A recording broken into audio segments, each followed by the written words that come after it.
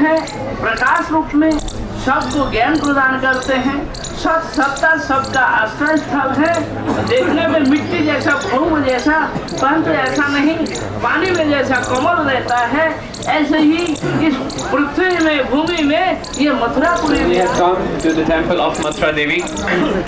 We saw the deity, we took the darshan, we took darshans of the deity. And she's also very close friend to Jamuna Devi. And uh, Prabhuji has told us that in India there are seven puris or seven places which give liberation. So Mathura is prominent among all of them. They all worship Mathura and Kashi, Kanchi, Avantika and all the names which he took. Even the Mukti, she gets liberation when she comes to Mathura. That exalted in the position of Mathura. And it is also said this is the board of the Lord and in Gopal Tapni Upanishad it has been uh, called as Brahma Gopal Puri where Gopal he lives in the form of Parabrahma so that is Brahma Gopal Puri. And it's also called Golok because the land of cows. Go means cows. Now he was telling that uh, there are 14 planetary systems in this material world and when we cross that then comes the Virja.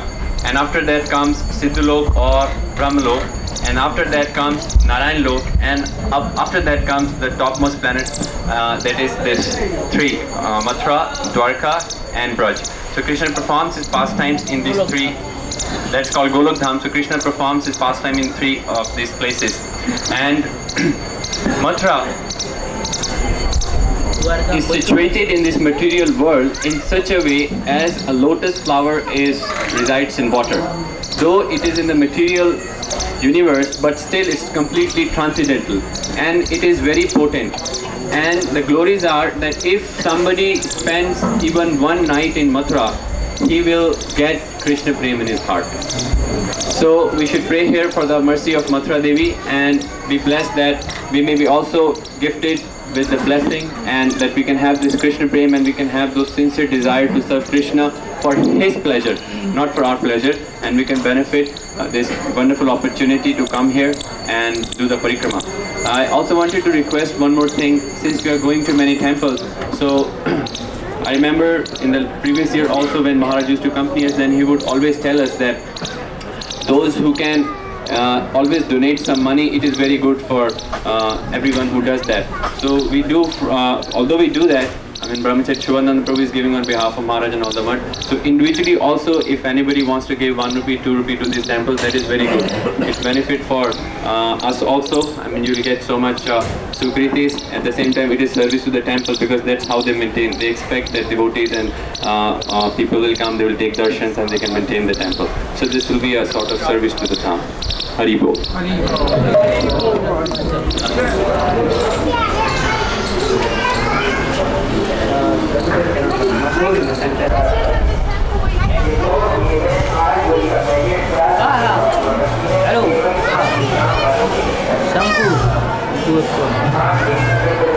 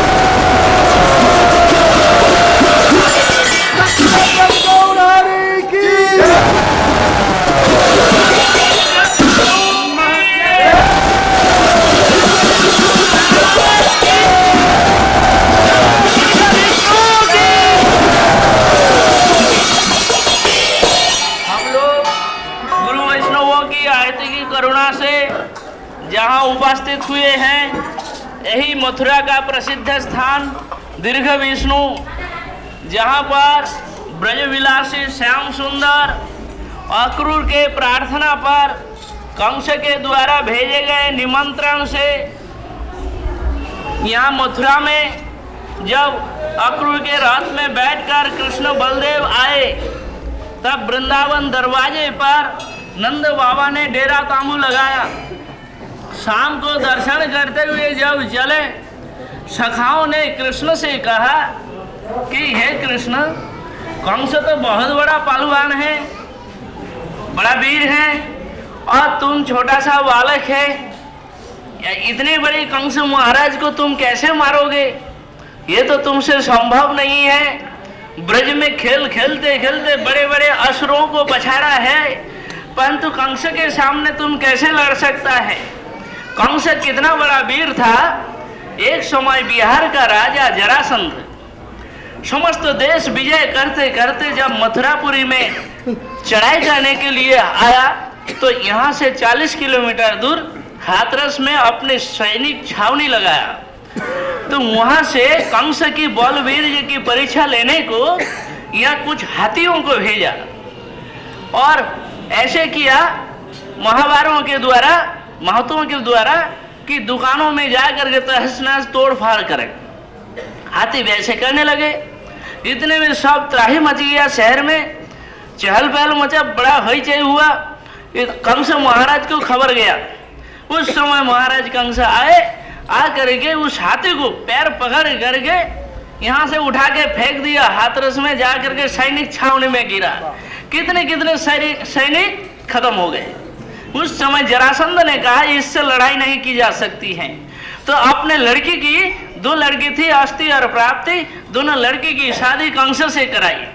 अपने जम, अपना जमाई बना लिया। बना करके उनसे संधि मित्रता कर ली। इसी तरह से कंस महा पहलवान था बहुत बड़ा वीर है उसके साथ कोई लड़ नहीं सकता। देवता लोग भी डरते हैं। तो सखाओं ने कृष्ण से कहा कृष्ण ने कहा, अरे सखा, तुम डरते क्यों है? अरे कंस इतना बड़ा लंबा चौड़ा पुरुष है तो हम क्या नहीं है? अरे हम भी तो ऐसे ही इतने बड़े हैं।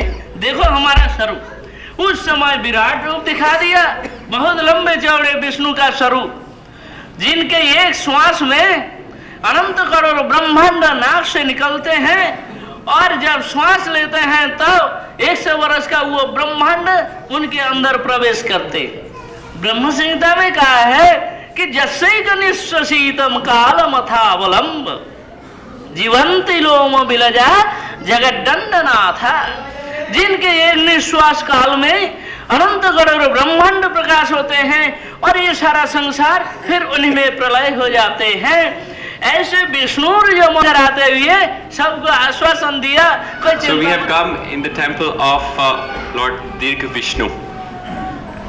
When Akrura had come to take Krishna and Balaram to Mathura, and Kansa has invited them, so they were planning to kill Kansa.